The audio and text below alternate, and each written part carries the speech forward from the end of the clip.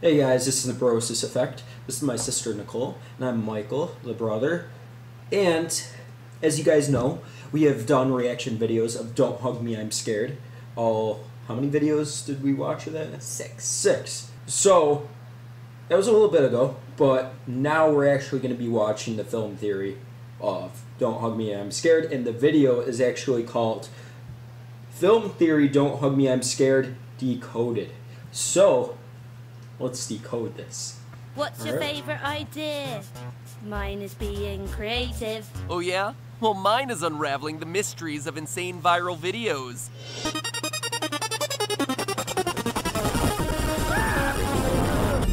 Hello, wild. Internet! Hey. Welcome to Film Theory, the YouTube version of your uncle who thinks that everything is a conspiracy.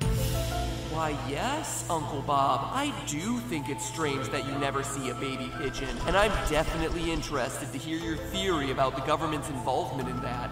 Please tell me more. And it's that kind of mixture of insanity and analysis that brings us to today's topic the independent internet darling, Don't Hug Me, I'm Scared. If you're unfamiliar with DHMIS, it's a series of short films with puppets that looks to be inspired by shows like Sesame Street. But hold on there, all you neglectful parents raising your kids off of YouTube videos. If any of you are looking it up right now to show your children, you're probably gonna wanna let me finish this sentence first. Because each episode of Don't Hug Me, I'm Scared features a bit of a dark turn towards the end. Like arts and crafts with a real heart. Or a giant can eating a duck alive. Oh yeah, you're in that part of YouTube again. But even though Don't Hug Me, I'm Scared is genuinely one of the weirdest things I've watched on YouTube, I really like it. It's really, really well done, and you should absolutely watch it. At its core, this series is all about YouTube. Don't Hug Me, I'm Scared's creators, Becky Sloan and Joseph Pelling, pretty much started this from scratch on the site. The first episode came out only three months after I uploaded my first ever episode of Game Theory. It's a long time ago, so I feel like we have a kindred history here. But also, I like it because this show refuses to be categorized. It's got puppets, but it also has animation in a lot of different styles. And then, if you wait long enough, it also has some live action sequences. All of these different styles are one of the things that makes it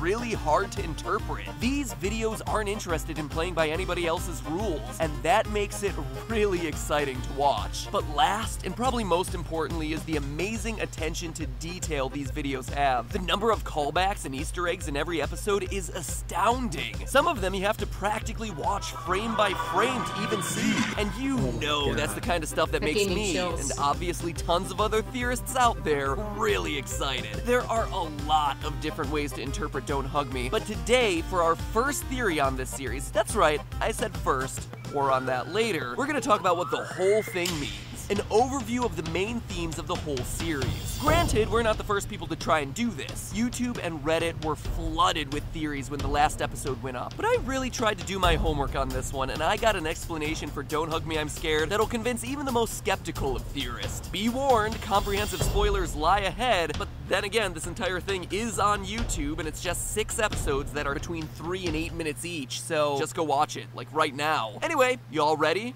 Fantastic! Let's get creative! If we're hoping to explain what's going on in Don't Hug Me, I'm Scared, we first need to establish what kind of world we're in. A lot of theories look at the bizarre events in this series as evidence of something sinister, such as the three main characters, to whom I'll be referring to from here on out as the red guy, the yellow guy, and the duck, being stuck in purgatory or some sort of nightmare. To that I say, Occam's razor, my friend. A better explanation is one that's a lot simpler. These three are just stars of a children's television show. Granted, it may not be a very nice children's television show, but the evidence is there. There are several instances in which we see the inner workings of a television show. We see clapboards and cameras right in episode 1 at the start of the creativity montage. Then again in episode 4 when the red guy follows the computer wire to the next room, and in episode 6 as the lamp explains dreaming to the yellow guy. We can also tell that most of the time, these characters are on sets. This is most obvious when Duck revolts in episode 5, saying,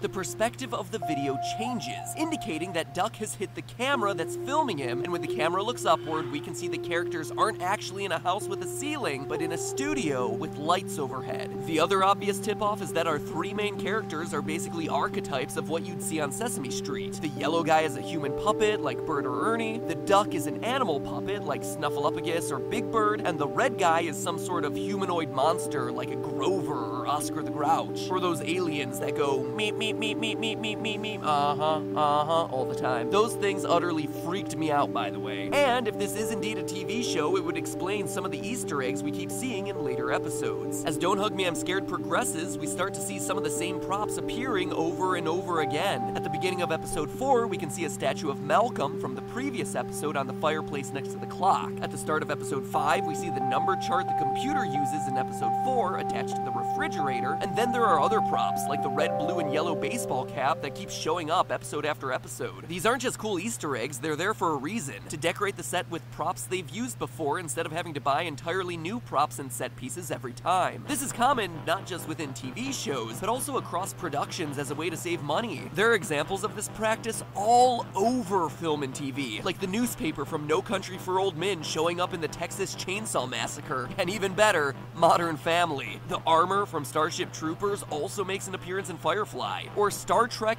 literally reusing an entire space station in two completely separate productions. There's one other juicy bit of theorist bait in episode 6 that strongly points to the whole thing being a TV show as well. When the yellow guy is in bed looking through his scrapbook, we see a picture of the red guy, who wasn't in episode 5 except for the credits, and whose bed is empty at the start of episode 6, wearing a graduation cap. Other theorists have suggested that this means that Red Guy is a teenager who grew up and went out to the real world, but going off to college is also a way for a television show to explain the sudden absence of a main character. For instance, at the end of season 4 of Blue's Clues, the original host Steve announces that he's leaving Blue to go off to college, when in actuality that was just the show transitioning to a new host, letting Steve go and do whatever weird artsy films that he's working on now. And no, internet, he did not go off and die of a heroin overdose. He just did a TV show like three years ago. Fact check, internet. Man, you Oh, yeah, guys are people always say dark. Then again, we are talking about a series of videos where one of the puppets dies in a vat of oil and another gets his intestines ripped out. So, yeah.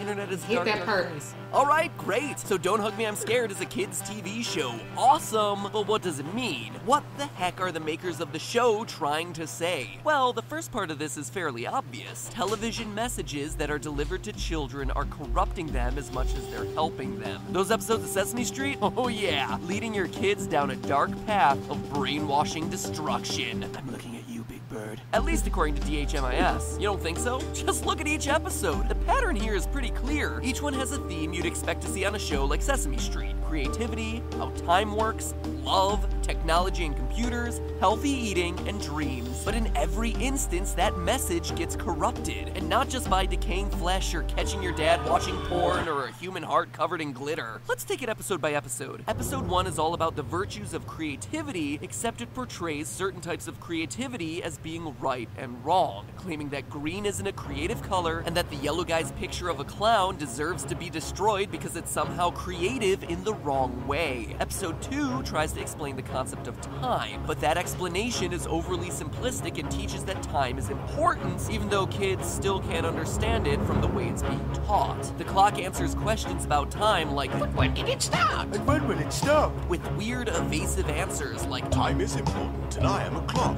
Then, when the duck finally tries to explain time scientifically, the clock yells until Yellow Guy's ears literally start to bleed. In episode 3, the Yellow Guy learns about love from a butterfly, Pesky bee? Or bee, A little baby pigeon. or little baby pigeon, or whatever, and teaches him about It's feelings, but then later learns that It's love is butterfly bee. only okay when it's followed in a certain way, particularly as it applies to religion. Episode 4 is all about computers and how they can teach us a lot about the world, but at the end simply conclude that in the digital world, people end up doing frivolous things like fashion and shopping and mindless entertainment. They're literally getting sucked into a computer and distracted with all these superficial things rather than the information they were looking for in the first place. Then in episode 5, the characters are supposed to learn about how to eat healthily, but the advice of the can and meat is confusing and contradictory, and this food pyramid is just terrifying. The food groups can easily be sorted using I the simple that health shape. It's also about how certain name hair. brand products are good for you and others are bad. The underlying theme here is clear. The kid show these three characters are in throughout the entirety of Don't Hug Me, I'm Scared sets out to deliver lessons about the world, but either fails miserably or succeeds in intentionally really brainwashing kids to a specific point of view. But why? Why are the creators of the show so cynical about kids programming? Are they trying to say that there's some big conspiracy behind kids' TV shows? Well, yeah, actually. Definitely seems that way. Dig a little bit deeper, and there's evidence that the show's creators are railing against not just kids' TV, but the makers of kids' TV and what their goals really are. Not in educating kids, but in making money. Throughout the series, we see visuals all about earning money, such as the very first thing you see in Don't Hug Me, a newspaper which reads, Stocks Flying High, along with a figure that seems to imply that the value of the British pound is increasing. We also have subtler clues, like a board game in the background of episode 4 that's titled Money Win. But the most important element of this is in a very small detail. Any fan of Don't Hug Me I'm Scared knows that each of the episodes takes place on June 19th. But what you have to look closer to see is the year. You can actually figure it out from episode 1. That newspaper headline about stocks soaring in the UK is no accident, and it's not fiction. If you look at stock records for June 19th over the last 100 years, there's one year in particular where stock markets were hitting record highs on that date in 1955. In 1955, stock markets all over the world, including the US and UK, broke practically every record imaginable when the markets opened. And if this was good evidence in episode 1, in episode 2, we get our definitive proof. When the clock mentions that the past is far behind us, we see a picture of all three main characters with the date underneath that reads 1906-55. Okay. The 1906 part obviously stands for June 19th since the Brits put their date before the month, with the 55 confirming our year. But why? like why might be the situation. 1955? Well, 1955 was actually a huge deal in British television history. Prior to 1954, the British Broadcasting Corporation, or BBC, held a monopoly on British television. But it was 1954 that the UK passed what became known as the Television Act, in an effort to bring an end to that BBC This is a history monopoly. lesson. This act led to the establishment of the first alternative network called ITV for independent TV in 1954. While the BBC is sponsored by the British government, ITV is independent and therefore has to make its money through advertising. Now, in interpreting this series, other YouTube channels, most notably YouTube Explained, have covered this topic, but they've said in the context of Don't Hug Me that this was a good evolution. I see it the opposite way, and I'm pretty sure the creators of Don't Hug Me, I'm Scared would agree. And here's why. This was the first time that advertising appeared in British television, marking an inflection point at which television went from a medium to communicate and entertain to a medium to make a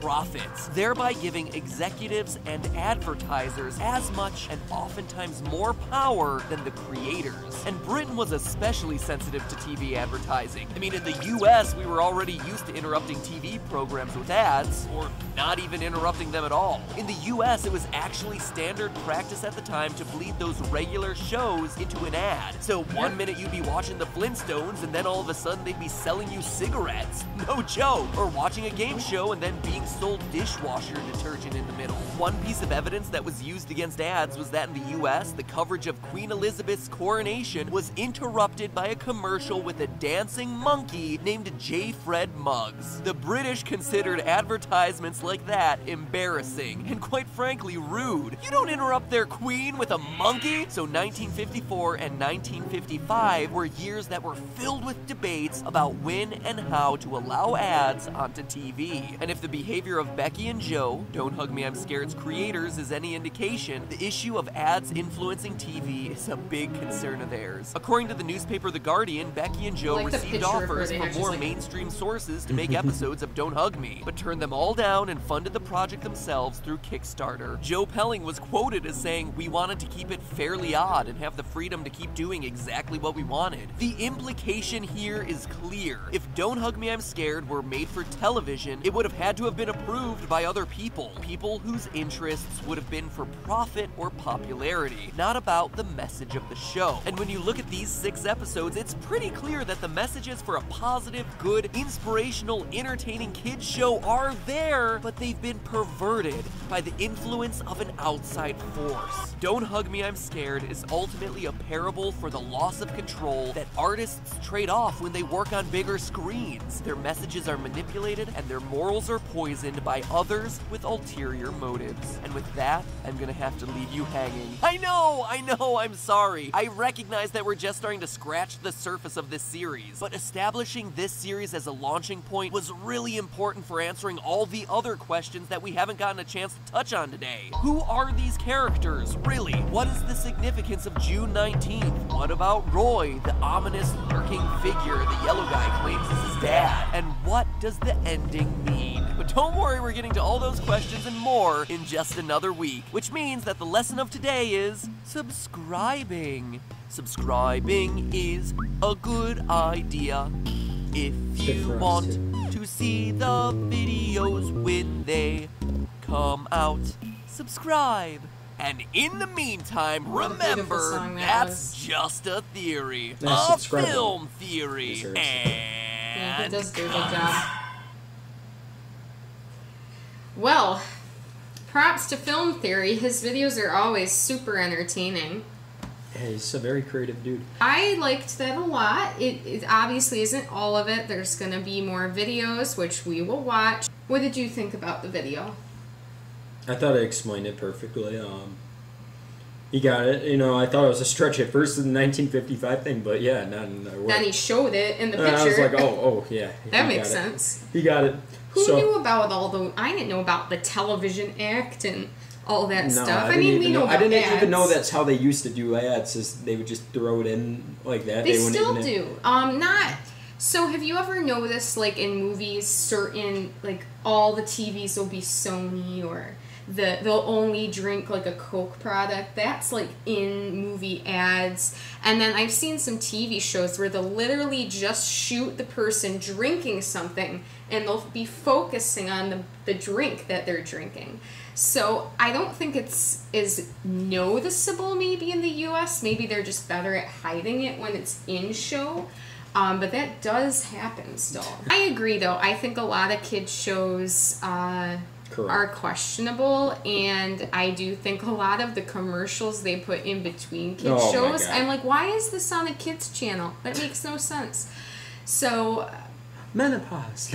I know, right? It's like, you know, like stuff for Alzheimer's. I don't know. It's it's weird, but maybe because the parents are watching the kids shows, so they're trying to meet other demographics. Who knows? But I really liked it. I think he's definitely on to something, and I'm excited to watch the rest of it. But make sure to subscribe if you want to see more videos. If you have any suggestions, please leave them in the comments. And make sure to give us a like.